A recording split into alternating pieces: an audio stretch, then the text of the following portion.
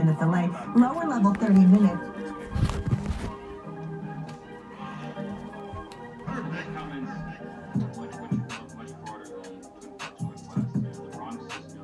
You need to know to see.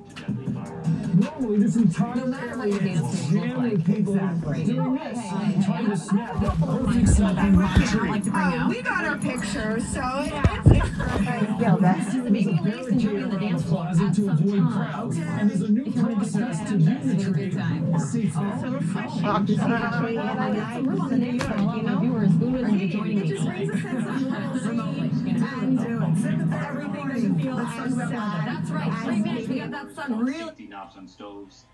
A very strange day is coming to America. In short, a massive and surprising new transition could soon determine the next group of millionaires. Well, we We are putting tenants' lives at risk. And as we continue traveling along the road to recovery, no one wants to put the car in reverse, especially the city's entertainment venues that just began welcoming visitors back. Mount Sinai offering a rapid COVID test to help the cause. But as News 4's Adam Kuperstein reports, some venues are considering making vaccinations mandatory for admission. Not the money there to invest in hasn't been, and he doesn't expect it to be.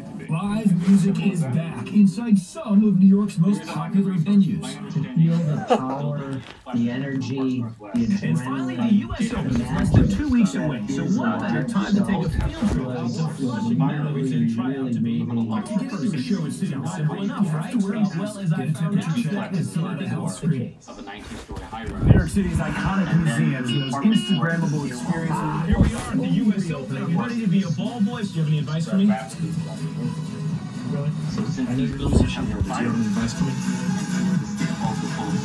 Tenants have. But I feel like, uh, I need to change. All right, let's go. Sorry, I, Ryan Field in the 6 o'clock show on Eyewitness News. Let's try uh,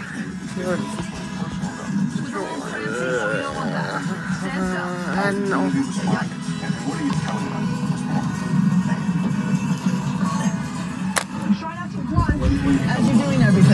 Okay? Do I sound out of This breath? This is only five minutes. She's gonna roll three to you, so get ready. Don't let it get up. Oh, oh. To lose both in the span of a single tragedy.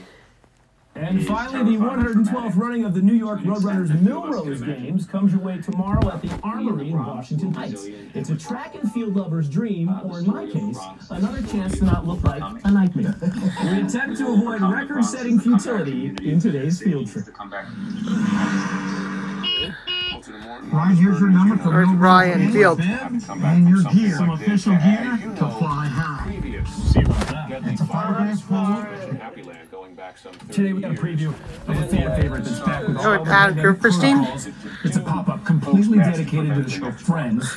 As Chandler might say, could you be any more excited? as a member of Congress to have done now to make a fire less likely Friends is back in New York City. My colleagues and I, have, so I'm a congressman and I'm going to collaborate with my As we celebrate Black, Black History Month, we are also taking a look at the people who are paving a path in place to forward right now. One of them is Brooklyn's Uh, Chris we have to Ganser. He owns a brewery, one of only three black-owned breweries in the entire state. But there's an active push to now create more opportunities, including a foundation created by a longtime New York City brewmaster. Every American to have access to safety. Separated, I feel like, oh, I have a, I actually have a brewery. like, this is, this is mine. America's thirst That's for Steve. beer is growing rapidly. And yet, racial diversity in the business is not. Of the 400, of the 484 breweries in New York State, only three are black-owned. I found that black people can fill